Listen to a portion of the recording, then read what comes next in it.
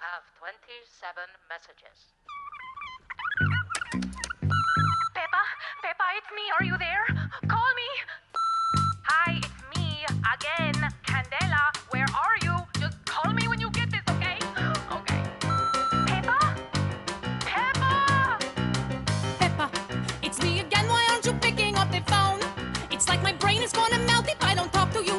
Got a problem in the shower and I've only got a minute. Cause the problem in the shower is this guy that I've been dating named Malik. He's what's the word? Swarthy, like a desert sheik. And he's been here in my apartment for about a week. I met him down at Cafe Sombra and I know you think I'm overly romantic, but you wouldn't believe the connection we had. Like immediately, I was ready for him to meet my mom.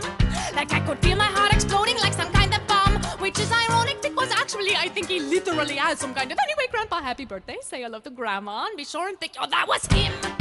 I may be jumping to conclusions, God, I hope I am. He thinks I'm thin and he's got shoulders like Jean Claude Van Damme. Listen, call me when you hear this. I'll be here for half an hour.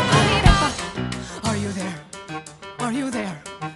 Are you okay or not there? But we need to talk. My stomach's aching like I swallowed some enormous rock. I'm at the phone booth on the corner and I've only got a minute. Cause I'm running out of change cause I've been lending all my money to Malik. God knows what man, I'm not exactly on a lucky streak. But this one really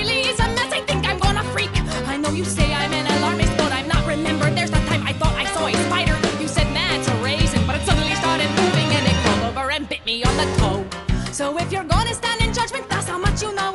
It's a good thing I didn't eat it, but I never would have eat it, cause I never did like raisins, so why would there be a raisin on the floor? So when you hear this, call me back, I'll wait a little more. I'll be at 773. Damn, they scratched out the number. Alright, I'm hanging up. I'll call you back.